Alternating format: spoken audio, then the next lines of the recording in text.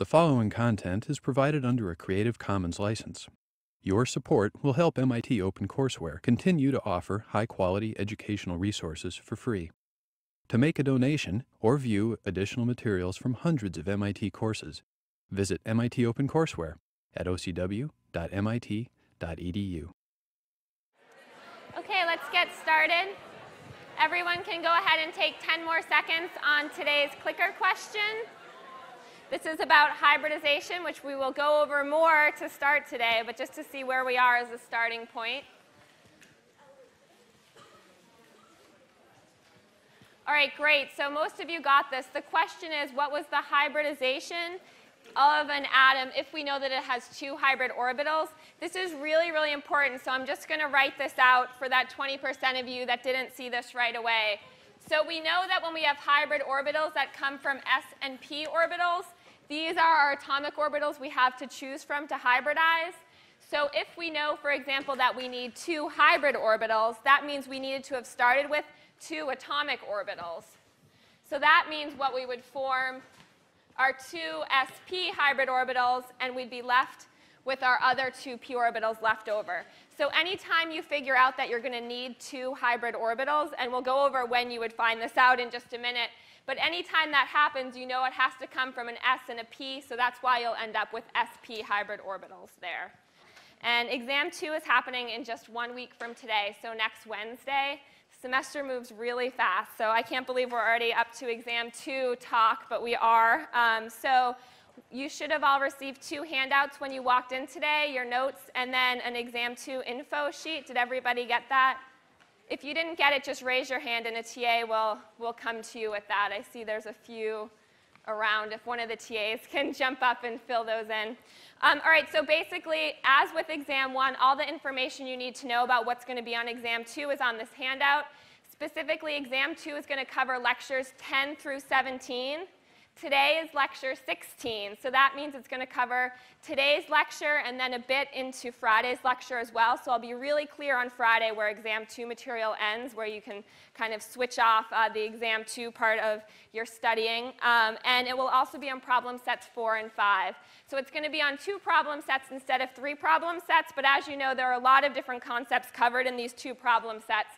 So it's still a lot to be thinking about, and you need to make sure that you really understand um, all of these different concepts. So this is explicitly listed in the sheet here. Make sure you look it over, but I just want to say as well, the, the concepts that we've covered since exam one have been talking about covalent bonds. Going along with that are all the Lewis structures that we've done.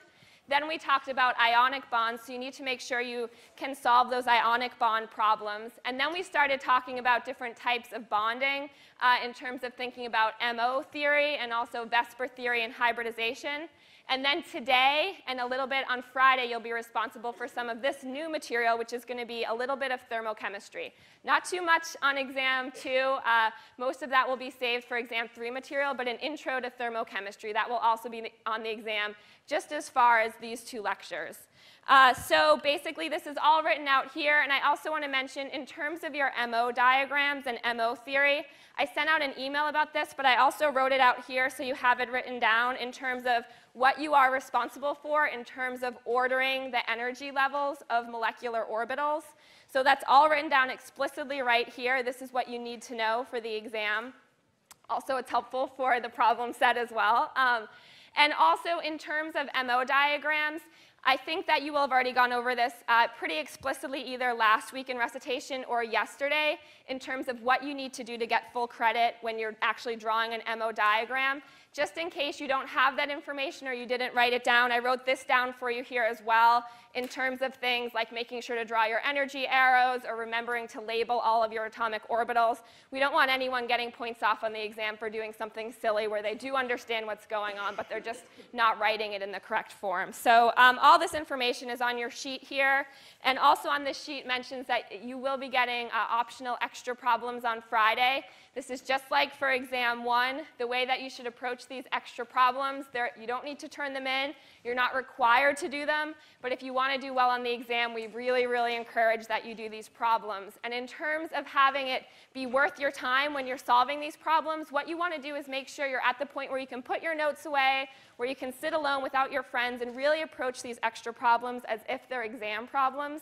This way, if there's some conceptual leap that you haven't quite made yet, but you don't realize it because you've been using your notes or using uh, the conversations with your friends, you want to make that leap and run into those problems alone in your room when you have two hours to figure it out. You don't want to do this uh, leap on an exam. That's not the ideal situation. So especially with Lewis structures where sometimes you can run into confusions that you need to work through and make sure it all makes sense in terms of your head how to do this, make sure you take the time to do that before the exam uh, and don't have to end up struggling with that on the exam in a, in a timed situation. All right, so the, the extra problem solutions will be posted on Sunday. And in terms of office hours for next week, my office hours are going to be on Monday from 2 to 4. I'm moving them up. And your TAs will move up their office hours as well, so check with them in recitation or uh, on the website. So that's pretty much it for uh, exam two. Are there any questions about what you're responsible for or anything regarding exam two? Okay, and in terms of the room, it's in Walker again, so at least this part should be familiar. You'll be used to going to your row. It'll be the same row. It's all written here again, but you can just do exactly what you did for exam one. Uh, all right, so one last class announcement, and this is that if you've been looking at our first sheet of the whole year, uh, sort of the course overview sheet, you know that our class, in terms of grading, is out of 750 points, and 50 of those points are for attendance and something called occasional in-class quizzes. Uh, so what we're going to do is start filling in some of those points because we only have 36 classes worth of attendance. So we have a couple points to make up in terms of quizzes, and these are going to be clicker quizzes.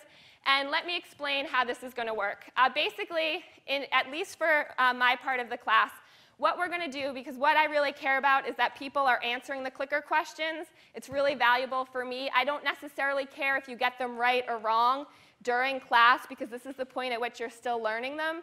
So these quiz points, which could be up to two points per class, will be in addition to attendance points, and you'll get full credit if you answer the quiz question. So um, you need to be answering the questions because the quizzes will not be announced. So this is a, another reward for people that are always participating. These clicker questions are really valuable to us in terms of the feedback. It really gives me an idea of where the class is as a whole. So, so really, you know, it's important that you are answering these questions, and this is a way to get your quiz points up. So in, in addition to attendance, you'll get two quiz points. We'll have our first unannounced quiz today, so you won't know what problem it is beforehand. So I suggest you make sure you're answering all uh, the clicker questions, which most of you do anyway. And I will just say, I recognize that some of you are just scurrying across campus to get here on time.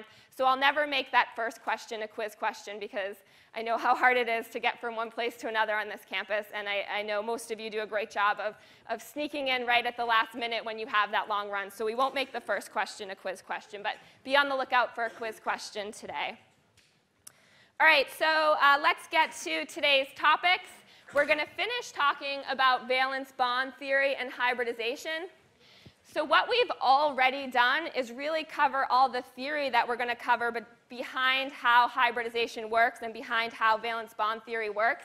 But what we haven't covered is how do we actually solve problems doing this in a really quick way. So we're going to do that. This is going to be a more practical lesson in hybridization. And once we do that, we'll move on to now talking about energies and enthalpies of chemical reactions. So this is a real shift. We spent a while talking about single atoms, and then we've spent uh, most of the material since exam one talking about bonding. So now we're taking it one step further, and we're going to actually get to talk about some chemical reactions. So we'll do that once we finish up with our hybridization unit here. All right, so how do we go about determining hybridization in complex molecules?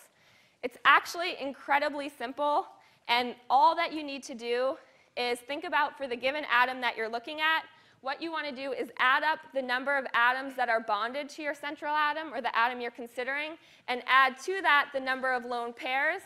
And what you end up with is the number of hybrid orbitals that you need. All right, so the theory behind hybridization and picturing everything, that can be pretty complicated, and I do want you to understand that. But if, for example, on an exam situation, you don't necessarily have to think through everything, you can just use this very quick way to figure out the number of hybrid orbitals that you need. And what we just said is that anytime we need two hybrid orbitals, we know that the hybridization of that atom is going to be sp because it's made up of one s and one p orbital. So let's say we need three hybrid orbitals. What is the hybridization of our atom in this case? Yeah, it's sp2. We want to take three atomic orbitals to make three hybrid orbitals, so it's going to be sp2. So what if we need four hybrid orbitals? What's the hybridization going to be in this case? sp3. All right, great. So really, that's it. Hopefully, uh, hybridization just got a lot simpler for any of you that have been struggling a little bit with it. But let's go ahead and do an example to make sure that uh, we can all do this. And let's take a look. Oh, first, let me mention an exception here. The one exception to uh, thinking about how many hybrid orbitals that you have are in the case where you have single bonded terminal atoms. So in the case of a terminal atom that is a single bond, you're not going to hybridize it. So in that case, just don't even change anything. It's just going to be one of the p orbitals, or unless you're talking about hydrogen, in which case it will be an s orbital that overlaps. All right, so we can illustrate this with an example of formyl chloride. So this is a good example because we're just dealing with uh, our carbon as our central atom here, and we have three terminal atoms, two of which are single bonded, so we're not going to hybridize those, and one is which one which is double bonded, the oxygen, so we will hybridize that one. So in terms of thinking about the carbon, what is the hybridization around the carbon atom? Um, all right, I'm hearing some mixed answers, so let's think. So the carbon atom is bonded to three different atoms, and it has no lone pairs. So what's the hybridization? Good, sp2. So if we're talking about the CH bond, we're going to say that it's carbon. It's a sigma bond because it's a single bond, and then it's carbon 2 sp2 bonded to a hydrogen 1s orbital. All right, so let's take a look at the carbon-chlorine bond here. Again, carbon is, is still 2 sp2. It's the same carbon atom, and it's going to be a sigma bond because it's a single bond. But what about the chlorine? What atomic orbital is going to be bonding in the chlorine? All right, I'm hearing a little bit of, mixes. They're all P's, which is a good start. It turns out that it's going to be the chlorine 3PZ. So the reason that it's P is because we're not hybridizing it. And the reason that I specifically say that it's the PZ instead of the PX or the PY is remember that the Z axis, that's our bonding axis. That's our internuclear axis. So anytime we have a p orbital that's involved in a sigma bond, it has to be the z orbital because that's the only one that has the right orientation to overlap along that z axis. So we're going to say it's carbon 2 sp2 and then chlorine 3 pz. All right, so let's look at the last bond here, which is a carbon-oxygen double bond. We know that anytime we have a double bond, it's made up of one sigma bond plus one pi bond. So when we look at the carbon, again, that's 2 sp2. But what about the oxygen? What's the hybridization of this oxygen atom? sp2. So we're going to have carbon 2 sp2 plus, and then oxygen 2 sp2. It's sp2 because the oxygen is bonded to one atom plus two lone pairs, so we're going to have a total of three hybrid orbitals. All right, so this is not our only bond. We have a double bond, so we also need to talk about the pi bond. So if we talk about the pi bond, we can say that's carbon 2py, then the oxygen 2py. We could alternatively say and be correct that it was the carbon 2px and the oxygen 2px. Either one of those is fine. All right, so that's an example of how we can assign very quickly and very easily what the hybridization is of a given atom, and then also fully describe the symmetry and the atomic or hybrid orbitals that make up bonds. So this is a lot of your problems on the P set, so if you haven't finished that section, hopefully you'll be able to get through that section pretty quickly when you go back to it. Uh, and let's take a look at a little bit of a more complex molecule here, which is ascorbic acid or vitamin C. And uh, this is a good example because it's starting to look a little more complicated, but not too much more complicated. But the reality is, if you know how to do assigning the hybridization this way, even if I gave you a 1,000 atom protein, you should still be able to get it completely correct. Uh, vitamin C is a really important molecule to actually think about in terms of thinking about its shape and its hybridization. Vitamin C is an antioxidant, so we might remember that from when we were talking about free radicals. Free radicals can cause oxidative damage. These antioxidants, some of our vitamins, including vitamin C, are antioxidants. So that's something that a lot of people in the general population know if they're, if they're into their health. Uh, but another really important thing about ascorbic acid is that it's an enzyme cofactor. And a cofactor just means that some, it's some type of molecule or atom, in this case it's a molecule, that's required by an enzyme in order for the enzyme to carry out its chemistry. And the chemistry that the enzymes that vitamin C are a cofactor for are responsible for putting oxygen OH groups onto collagen molecules in order to form what is the collagen triple helix. And collagen is the main constituent of bones, of joints, of connective tissue, um, of many important structural parts of our body. So you can imagine that vitamin C is very important because we need to keep our collagen intact. Collagen is actually one of the most prevalent proteins in our entire body, uh, and it makes up a large part of our cells. So you can imagine if we don't have collagen that is in this triple helix, we're going to run into some problems. Does anyone, or I'm sure many of you do know, but can someone tell me what the name is of the disease if you have a deficiency in vitamin C? Scurvy. Yeah, scurvy. So scurvy, most often uh, associated with ships because of the uh, 1500s and 1600s and 1700s when boating technology was far above biochemistry technology. So people could make ships and go on these long journeys, but people did not yet understand they needed to keep certain vitamins uh, in their bodies, such as vitamin C. Maybe also they didn't know about, well, they didn't even have the structure, so they couldn't have realized that vitamin C is polar and won't stay in their bodies for very long. It will get excreted out through their urine. So they, they were not thinking about how quickly they could run into trouble in these long sea voyages. And I don't know how many of you had a unit on explorers in elementary school. I did in fifth grade, and one that always sticks in my head is Magellan's trip around the world, uh, who led the first fleet of ships around the globe. What they did not mention to us in fifth grade was that 90% of his men died on that journey. Uh, and you know, I, I, understand we were young kids. I didn't want to know that at the time, uh, but it's interesting and it's really important. And the reason for many of these deaths was scurvy. And it's totally preventable. And in fact, the cure for scurvy, which is as simple as taking vitamin C in any form, was known for, since the fifth century, people started figuring this out. But the problem was there was so much false information as well that it was not a general practice on ships to be treating men that were suffering with vitamin C or using it as any kind of preventative measure.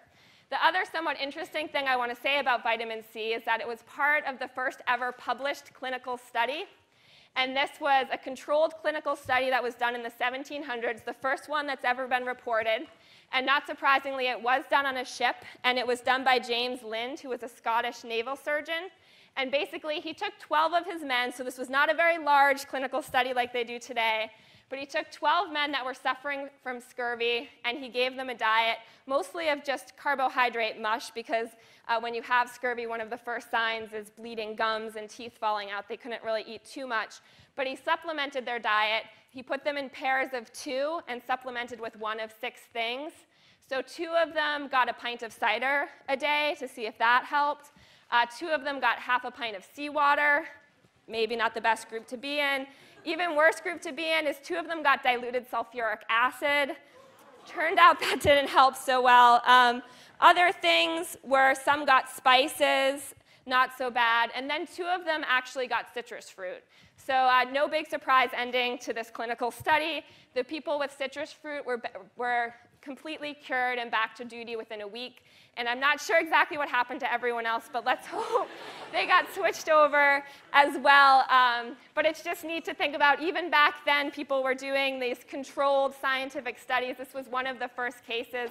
Unfortunately, it was another 40 years between, between this study being published and the British Navy requiring supplements of citric acid. So really, you know, we've come a long way in terms of disseminating scientific knowledge to the community, and that's a really important part of being scientists not just making these discoveries, but also you know, passing them along, for example, to these ships full, full of people that need to know it. Um, so in terms of scurvy, we don't see too much of it today. But who should be concerned about, about suffering from scurvy? Do we have to worry about our cats or our dogs at home? Are they getting enough of their vegetables and vitamin C? It turns out we don't have to worry. Uh, primates are who should be concerned. So we need to be concerned. Other primates need to be concerned. It turns out that most other mammals actually biosynthesize vitamin C, so we don't have to worry about most of our pets at home. Uh, unless you have a guinea pig, and they don't, in fact, biosynthesize vitamin C.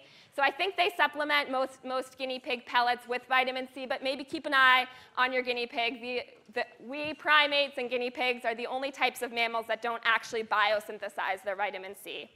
So again, vitamin C is a cofactor. That means it needs to bind to an enzyme. It means that the shape of vitamin C and the hybridization are going to be really important. So let's take a look uh, and talk about some of these carbon atoms here. And you can look at your structure of vitamin C in your class notes while you're doing this. And first, I want you to tell me what the hybridization is of that carbon A in the vitamin C molecule.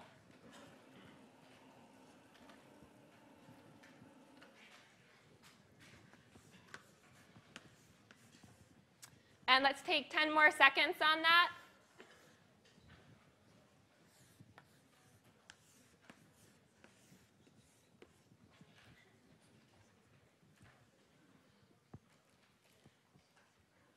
Okay, 78%. We'll do another question like this in a minute. So um, if we can switch back to the notes, we'll take a look at that. I think we can get better. I think we can get to the 90s with these hybridization. We just need to follow the rules. So if we're thinking about vitamin C and we're talking about carbon A, how many things is carbon A bonded to? Four things. We have two hydrogen atoms, an oxygen, and then another carbon. So that means we need uh, if it's bonded to four things, we need four different hybrid orbitals, so it needs to be sp3 hybridized. All right, let's try this again, but just shouting out, what is the hybridization, of carbon B? Good. Okay, I'm going to say that was about 90% of you I heard, which is excellent. sp3. What about carbon C here? SP3. Yep, sp3 again. Bonded to four things, it's sp3. What about carbon D? sp2. sp2, great. carbon E? All right, and the last one, this last 10% of you can join in, carbon F? sp2. Great, sp2. All right, so we can also think about shape once we know hybridization and how many atoms a carbon atom is bonded to what would we say that the shape is of these sp3 orbitals? Or the shape of the carbon atom? Yeah, it's tetrahedral. So this is going to be tetrahedral. And uh, what about carbon D, E, and F? What is the geometry of carbon D, E, and F? Good, trigonal planar.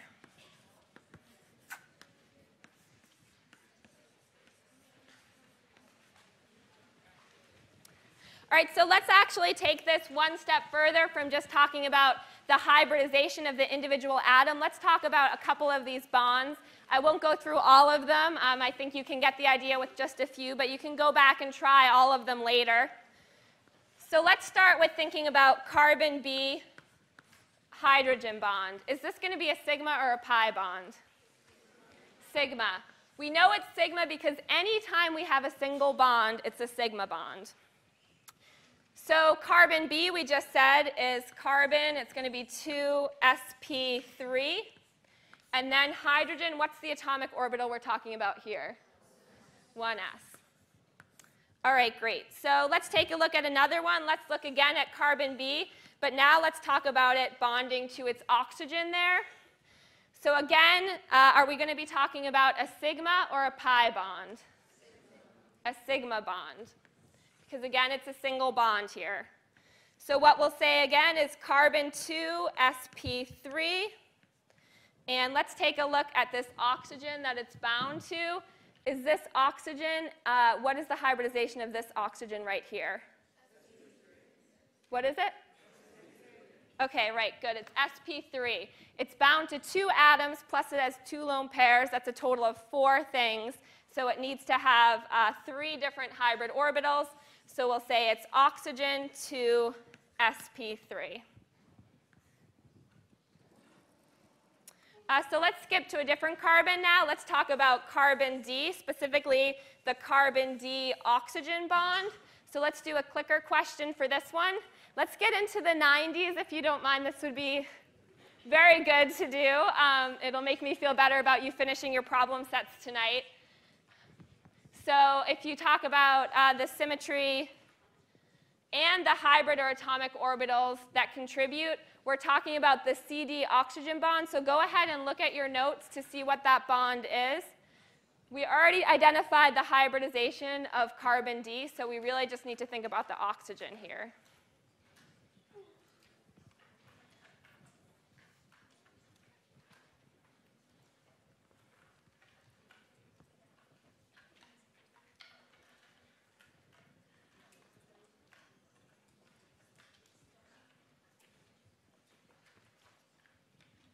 All right, let's take 10 more seconds.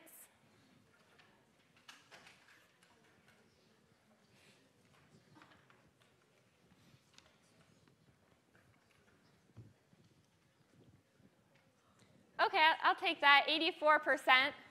That's not bad. Um, so again, we're looking at a sigma bond here.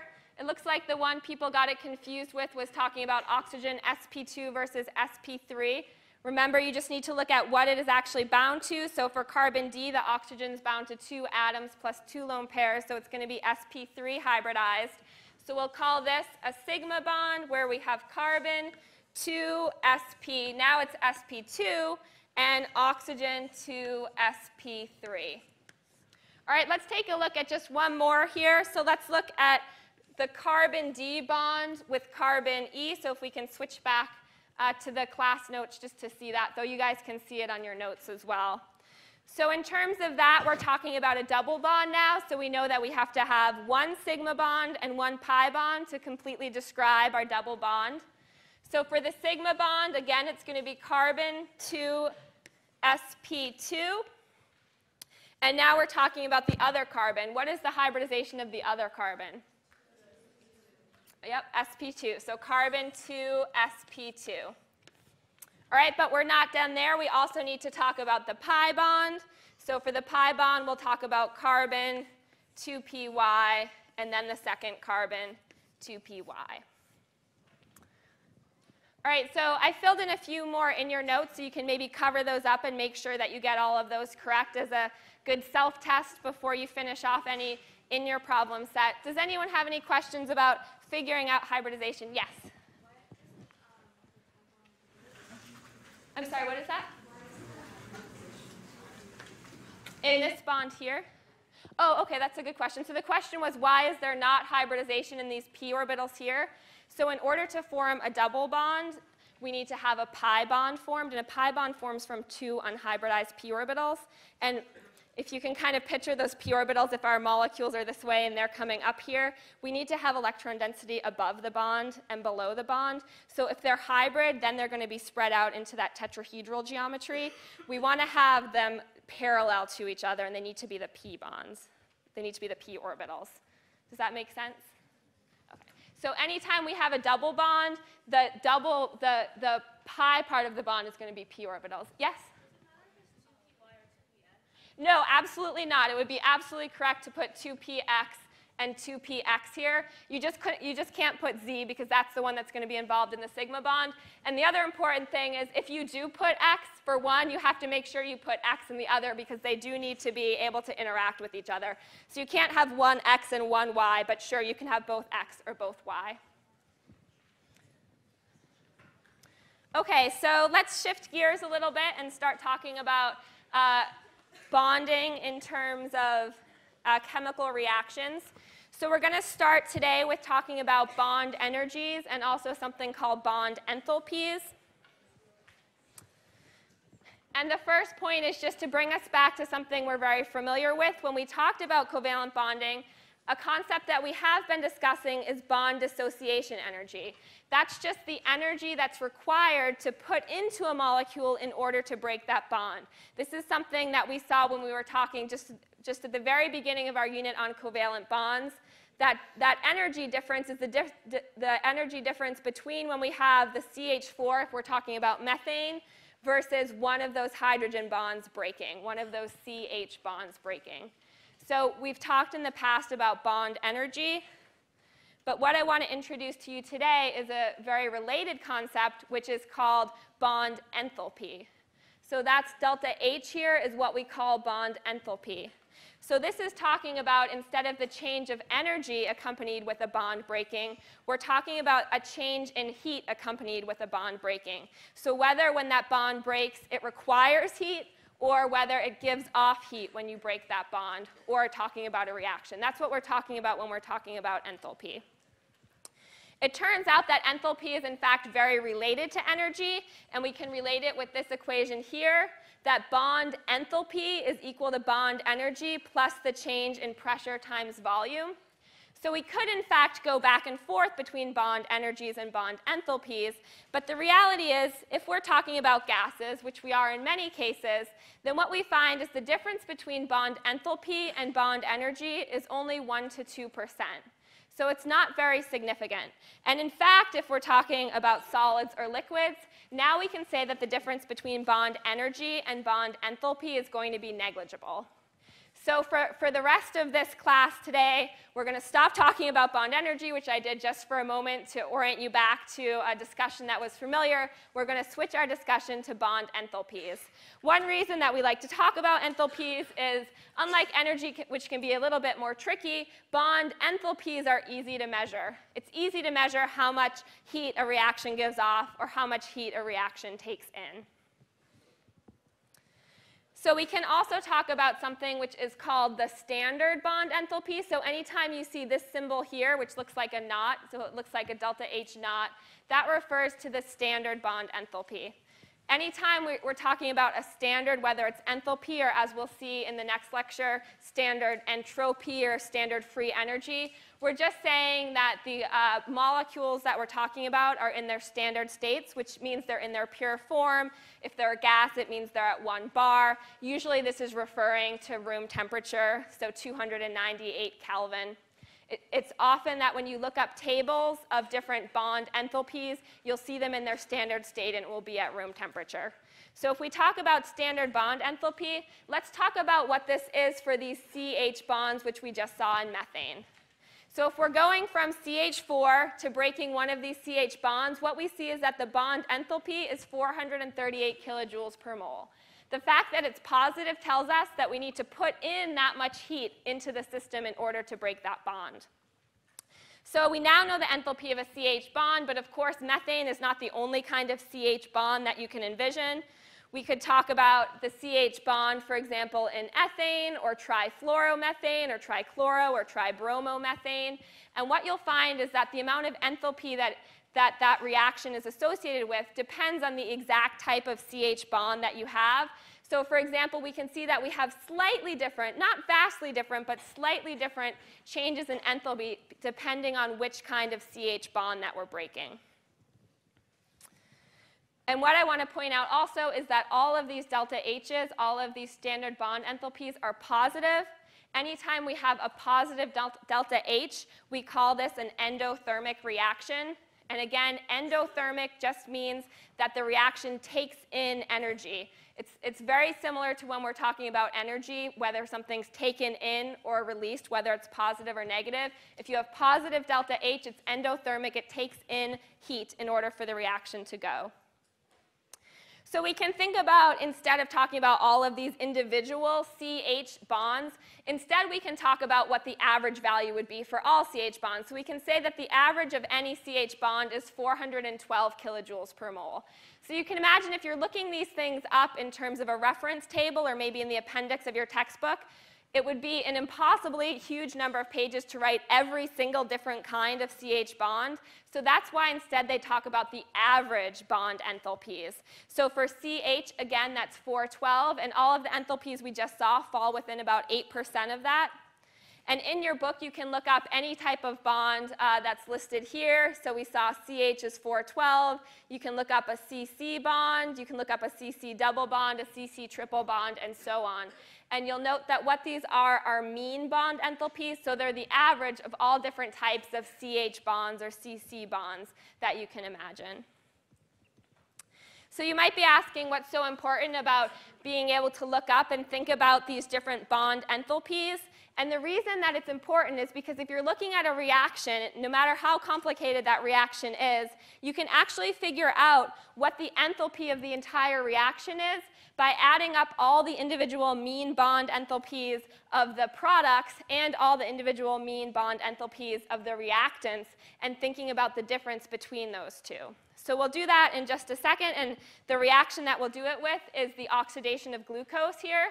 So C6H12O6, one mole of glucose plus six moles of oxygen gives us six moles of carbon dioxide and six moles of water. So what we can find out, and hopefully what we will match up when we look at using the different bond enthalpies, is that the enthalpy of this entire reaction is negative 2816 kilojoules per mole. So in this case, we're saying that delta H is negative. Does anyone know what it's called when delta H is negative? Everyone knows. Great. So it's exothermic. This is an exothermic reaction. The reaction releases heat. So I just want to mention before we go on, if you look at almost any uh, freshman chemistry textbook, what you'll find is this oxidation of glucose reaction is used a lot in talk, talking about thermochemistry. And one reason it's talked about is because it's very convenient to talk about something where we start with one mole of glucose and end up with 12 moles of products. That's going to be helpful when we're doing a practice problem to see exactly how you deal with it when there's different numbers of moles. Uh, but the other reason you always see this reaction is because it's an incredibly important reaction. The oxidation of glucose is going on all the time in our body. This is our main source of energy for all animals. So let's think a little bit about why this reaction is so important and so prevalent. It turns out that if we're talking about plants, plants do the reverse reaction. So plants take carbon dioxide and water and they turn it into glucose or energy for us, energy stored in the bonds of glu glucose, plus oxygen. So if we do the reverse reaction, this is actually going to require energy. Where do plants get this energy? Yeah, this is just photosynthesis here. This is the photosynthesis where plants are turning carbon dioxide and water into sugar and into oxygen. So what happens when we eat the plants or when we eat animals that have eaten the plants is that we perform the reverse reaction now, which is what I just showed you, the oxidation of glucose. And even though it's not the products of the reaction that are particularly valuable to us, we just breathe out the CO2, and actually we'd rather have less of that uh, than more in our, in our environment. But um, what's important here is instead the energy or the enthalpy that's given off in this reaction.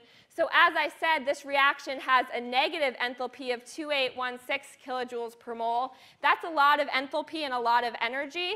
So we actually end up using that energy to fuel most of what is going on in our body. So instead of storing it as sugar, once we oxidize the sugar, now we just store it as ATP. And as you know, ATP is the currency of energy in the cells.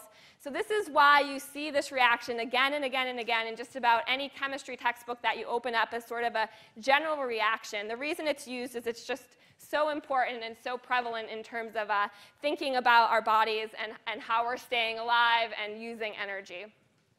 All right, so let's go ahead and use this as an example of what we just said, which is using the bond enthalpies of the products and the reactants to figure out the enthalpy of the entire reaction.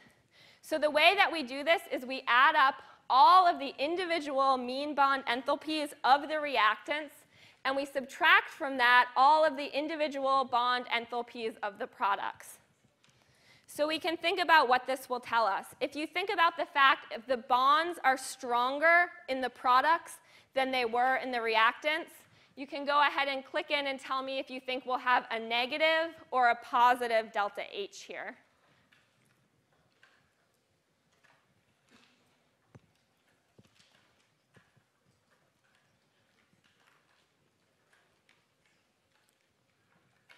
All right, so let's take 10 more seconds on this.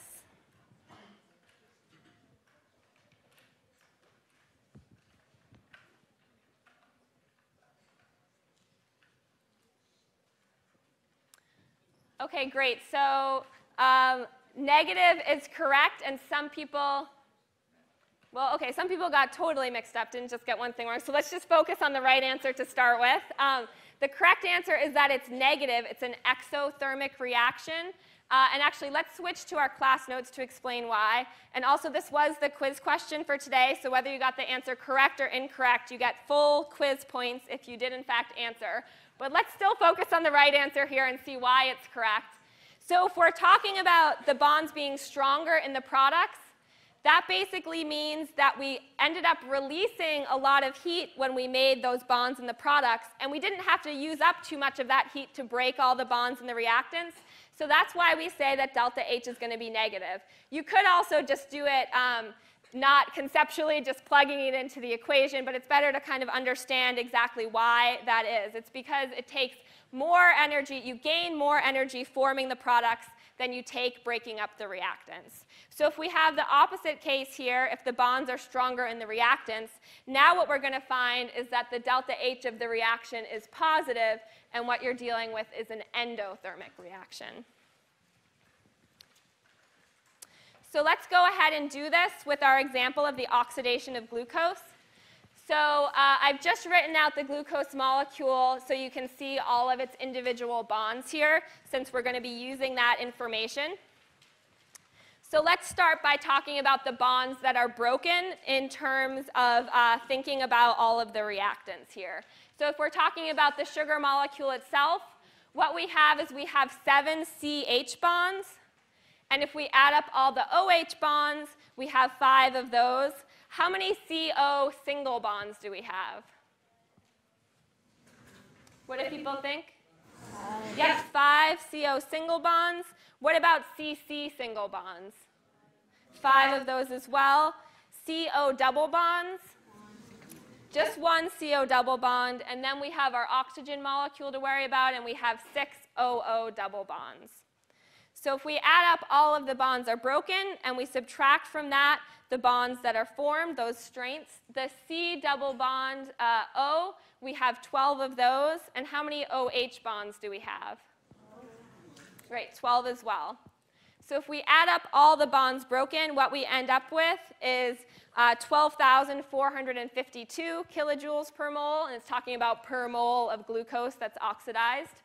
And in terms of bonds formed, what we see is 15,192 kilojoules per mole.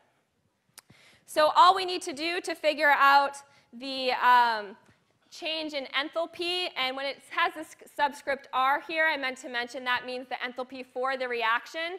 We just subtract the, the, uh, the these bonds here from the ones that we ended up forming. Um, so basically what we're saying, excuse me, the ones these are the ones that we broke. It's 12,452 minus 15,192, which we formed. So we end up with an enthalpy of reaction of negative 2,740 kilojoules per mole of glucose that's oxidized. All right, so if you remember the number that I told you before, it doesn't exactly match up with what we uh, had said is the exact number. The exact number is 2,816. It is within 3%, though. That's pretty good. Because remember, we're not using exact bond enthalpies here. What we were using is average bond enthalpies. So it makes sense that we're going to be a little bit off. Um, but if, you, if all you have in front of you is the information on bond enthalpies, mean bond enthalpies, this is a great way to figure out the enthalpy of an overall reaction. We can think of a different way, however, to think about the enthalpy of an overall reaction, and this is talking about the heat of formation. And the heat of formation, or delta H formation here, is equal to the heat of, or the enthalpy of reaction if we're talking about forming one mole of compound from its pure elements, which are in their standard states. So basically, there's a table that you can look up which tells you the enthalpy of formation for any compound that you're interested in. And this is actually in Appendix 2 of your textbooks, and you will need to use this to solve your um, problems on the, on the P set. But let me say that, for example, if we're talking about water here, that's formed from hydrogen and oxygen if we're talking about the elements in its purest, in their pure forms at uh, one bar, standard states, and room temperature. And if we look this up in our textbook, we would find that the delta H of formation for water is negative 286 kilojoules per mole. Similarly, we can look up the same thing, for example, for carbon dioxide. And what we'll find here is that our delta H of formation that we look up is negative 393.5 kilojoules per mole. We can also look up or think about what our delta H of forma formation would be for oxygen. Does anyone have a guess here? Yep, it's actually going to be zero. Oxygen already is in its most stable state. So anytime we're talking about an element in their most stable state, it's going to be zero. That's going to be the delta H of formation. There is none, it's zero. We can also look up what it was uh, for sugar, for glucose, C6H12O6. So that coming from its most uh, stable forms, its most pure form of the elements, is going to be negative 1,260 kilojoules per mole. All of this, this information has been tabulated and is in tables. You can refer to them, and they're also in the back of your textbook, so you can refer to those in terms of your problem set. So let's go ahead and solve a problem actually using the delta H's of formation. Let's see if we can do any better to coming close to uh, the reality for the oxidation of glucose. So if we're going to calculate the delta H for the reaction for the oxidation of glucose, or actually for any reaction at all, what we want to do is take the delta H of formation of the products and subtract from that the delta H of formation of the reactants. So let's go ahead and do that. And in terms of talking about the oxidation of glucose, if we talk about delta H of this reaction, what we need to take is uh, 6 times delta H of formation of CO2, since we're forming, that's in our products, we're forming 6 moles of CO2, plus 6 times delta H formation of H2O, since we're forming 6 moles of H2O, and we subtract from that the heat of formation of all of our reactants. So we only have one mole, so we just say delta H formation of C6H12O6. And then in addition to that, we have six moles delta H formation of oxygen, of O2.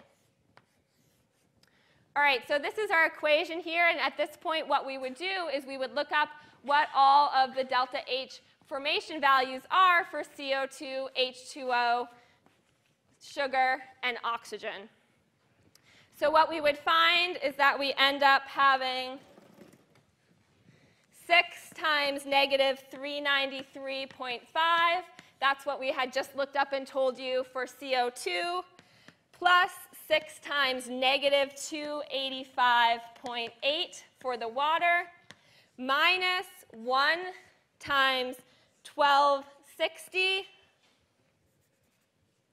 So it's negative 1260 um, for our sugar here. And then what we're going to end up with is having minus, and what is it for oxygen again? So minus 0.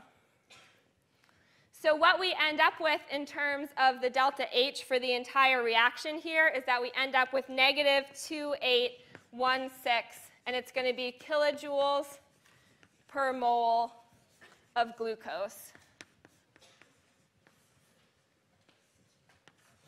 All right, so let's see how this matches up, and hopefully you can actually remember that this matches up actually perfectly here. Um, so what we're going to see is that, in fact, it, what we calculated versus what is experimental is dead on the same.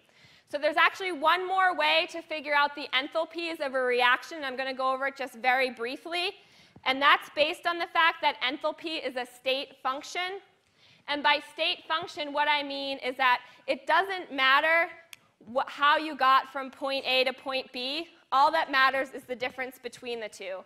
So another example of a state function is altitude, for example, on a mountain. So if you're talking about altitude, you go from point A to point B on the mountain, And it doesn't matter how you got there. You could have climbed all the way up to the top of the mountain, and then went back down and eventually landed on point B. Or you could have gone straight from point A to point B. The change in altitude between point A and point B do not depend on the path. They're independent of path. So this difference right here does not matter on how you got there. It does not make a difference how you got there. Altitude is a state function. So similarly, we can say that enthalpy is a state function as well. If we're talking about part uh, reaction A here, which has our reactants going to our products into B here, it doesn't matter how we got there. We can actually calculate the change in enthalpy at all different points here. All that we actually have to worry about at the end of the day is the difference between A and B. So that's what we mean by state function. Um, actually, we're not going to have a chance to get to fully explaining the consequence of this, which is Hess's law, which allows us to add and subtract different reactions. So what I'm going to say is the last two problems on your problem set you won't have to do because we're not going to get a chance to cover it in class on Friday. So I'll send out an email about this as well. Uh, so that'll, that'll be pushed back. So it will be on the exam, so you want to do them at some point, but you don't need to actually turn those in. So those are the last two problems, I believe.